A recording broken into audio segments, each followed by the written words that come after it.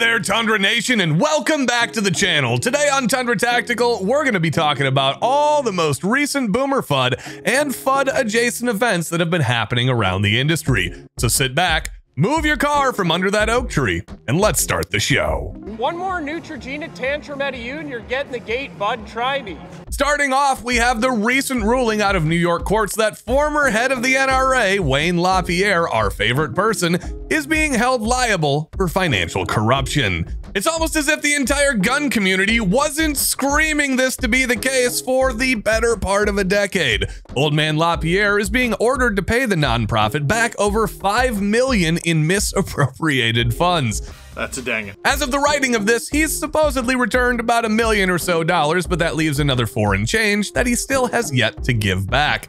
Hopefully, his accounting is more accurate than his safari shooting. Looks like he's gonna have to sell a mansion or two, folks, to take care of this debt, but on the upside for the buyer, they can probably negotiate that the house comes with a wardrobe full of designer suits. Looks like it's gonna be wife beaters and sweatpants for old Wayne for the next few years. Speaking of buyers, I'm sure some Fudd out there would jump at the opportunity to fork over all their kids' inheritance at the chance to roll around in authentic LaPierre dirty clothes, since Fudds are constantly praising the NRA like it's some sort of god tier organization.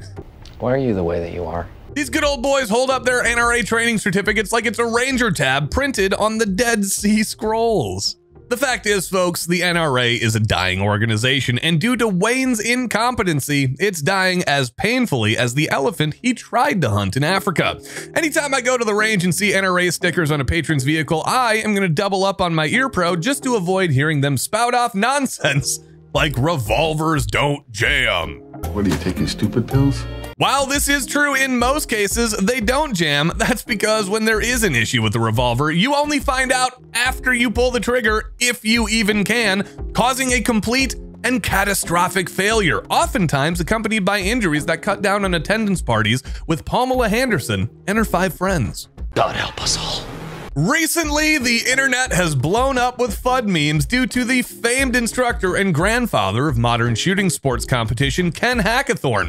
If for some reason you haven't heard this yet, allow me. We've got a lot of Pied Pipers out there that are telling people, oh, you got to have a red dot and this is the road you got to go down. And the answer is for a self defense gun that you use primarily at 10 yards and closer, no, you don't need that. If you want it, hey, God bless America, go buy, put one on your gun. But understand, a red dot sighted pistol at zero to 10 yards has no advantage over iron sight. He made a video with top tier Fudd brand Wilson Combat where he describes to you how red dots won't help you and aren't better than iron sights. While saying this, the Wilson personnel on video with him nods in agreement, while at the same time they're trying to sell you optics ready pistols. If they really feel that way, then they're basically saying that they enjoy selling you things they don't even recommend. Hey, if you want something that comes with features the company actually believes are useful, then you should check out CMMG and their new Mark 47 Dissent series available in 16 inch and now 12.5 inch variants. Combined with the zeroed muzzle devices that come standard, these are truly the next step in innovation for fans of the 762x39 cartridge. If that's not your style, CMMG has something for everybody from standard ARs to 22 conversion kits and heck, even the 5.7 Banshee. CMMG has all your needs for quality guns to fit any role, so go click the link in the description and get yourself an upgrade today. Oh, and don't forget to tell them Tundra sent you. Now, Ken went on to say that weapon lights are also useless, and I quote, when was the last time you needed that? Well, Ken, I needed that the last time I needed my pistol in the dark. I hope I never need my pistol in the dark, but I'm happy to have it if I do need it, and I'll be happy to be able to see. Thank you very much. Now everybody wants to be a cool kid and have all these gadgets and a gun. Okay, you carry a gun, especially if you're in the private sector. You're not a soldier, you're not, um, you know, in law enforcement. If you carry a gun with a light on it, when's the last time you needed that? And most people, if they're honest, will tell you, well, not really. Here in the private sector, we don't believe in carrying because we need to. We carry a pistol in case a scenario arises where we need to defend ourselves.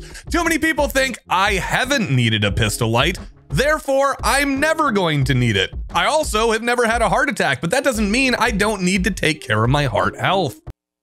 Touche, salesman. I mean, a similar argument would be should people not carry medical stuff like tourniquets before because they've never needed one? According to some people, I guess the answer would be yes. This argument, honestly, is one of the most boomer things I've heard since COVID started. The irony is that Ken Hackathorn and Bill Wilson released a video in 1997 called Low Light Shooting and Flashlight Techniques. While in this video they are demonstrating the use of a separate flashlight with the offhand, why not just have it be hands-free and get a proper grip? While he may be used to doing things the old school way with a separate flashlight in a stressful situation, having it all be together on one tool is the new mantra of instructors all over. There are entire courses dedicated on how to effectively use a weapon mounted light. You can see examples of its practical use on almost a daily basis. Ken went on to spout off the line used by everybody with zero training on the matter that with an appendix carry holster, every gun becomes a decocker. Wow, how original, a dick joke. Great job. This talk about the gun at the junk carry position. And before you tell me, I'm going to tell you folks, remember, if you carry your gun, point at your junk. Real popular right technique right now. Remember, if you do that, every pistol that you put in that carry position is a potential decocker. Okay, Boomer. He says this like every strong side holster doesn't point directly at your own leg that is full of major squirty boys. There is a danger with any type of holster if you don't have the requisite training and fail to pay attention to what you're doing. Looking at you, Tex. But that doesn't mean you can't do it safely. Fascinating. You could make the argument that flying could be dangerous unless, of course, you take the right safety precautions. That's why out of the 100,000 flights worldwide every single day, there are only 3.5 crashes a month on average. This is due to training and safety precautions. Now, we here at Tundra Tactical don't pretend to be authorities on training, and we realize that Ken has probably forgotten more than I will ever know about doctrine, but we can smell the stink of Fudd lore just as good as the next semi-competent guy. Ken, I'm not roasting your stance on the subject, I'm roasting your boomer single-minded take on training.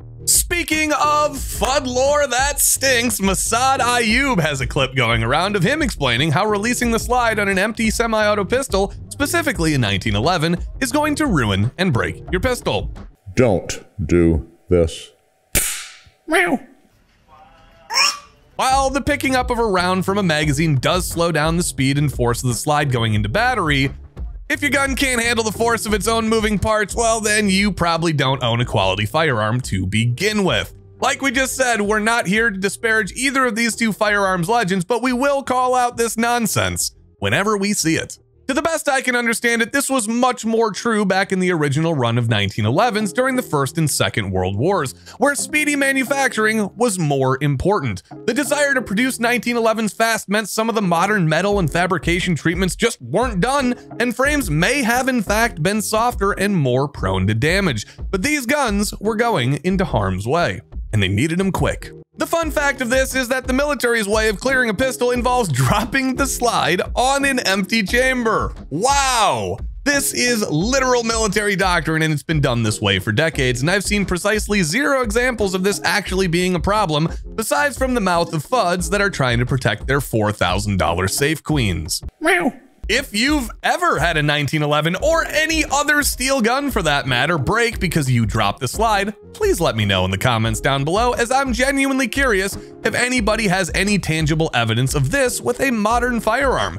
We will be the first to acknowledge that the military way isn't always the best way, but they clear more firearms on a daily basis than most of us do in a lifetime. If this was a real issue, it would have become apparent by now. Speaking of a parent, before the keen eye amongst you get the chance to comment down below on the irony of me roasting fans of the 1911 while wearing this fantastic 1911 Reject Modernity t-shirt, you gotta know the major difference is that we are joking and they are not. But if you want to be in on the joke, go ahead and pick yourself up a t-shirt. You can find a link in the description. Thanks for the support, folks. Okay, we gotta talk about Ken's implication of the private sector and how it's akin to just saying, call the police. And that's by implying that they're more professional and better trained to handle the situation. But then we see videos online of police mag dumping multiple mags from multiple guns and hitting the target a total of zero times. This was evident in the recent viral video of a Florida deputy taking shots from a falling acorn,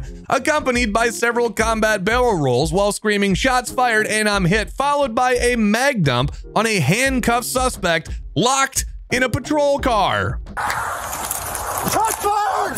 Shots fired! Shots fired! Shots fired! Luckily for the soon to be paid suspect, he was not injured from the fire from Deputy Hernandez or his acting supervisor. Yeah, you heard that right, folks. The supervisor also mag dumped into the patrol car from a completely different angle. These are the people who are supposedly more trained than the average civilian, yet the sound of an acorn hitting a car might get you and other innocent bystanders killed. But I guess that kind of makes sense since the left is constantly referring to us as gun nuts. We should probably really shake off that moniker. I'm kind of thinking lead spuds. Yeah, let's workshop that one. In light of the recent nut-based precision strike, we here at Tundra Tactical would like to remind you all that we've been trying to warn everybody about the impending squirrel apocalypse, but we haven't been taken seriously. I mean, after years of watching us and studying our behaviors, look at them, they're weaponizing PTSD by attempting to trick us into attacking each other to lessen our numbers before the full-on assault. Ladies and gentlemen, stay vigilant. Also, subscribe.